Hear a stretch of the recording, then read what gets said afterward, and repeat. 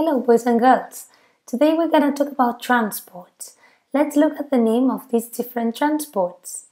Bus, truck, train and boat. Look at this picture here. Number one, one singular. Number two, plural, R. Alright? So for number one, what is this? It's an old bus.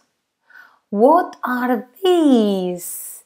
They are new buses. Number three, what is that? It's far away. That's a small truck. And what are those? They are long trucks.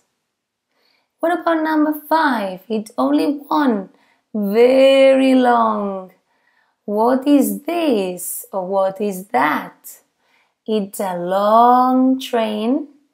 And what are those? They are short trains. Okay, let's turn the page and circle and check. If the girl is far away, yes, it's those buses. If the boy is next to, near the truck and it's only one.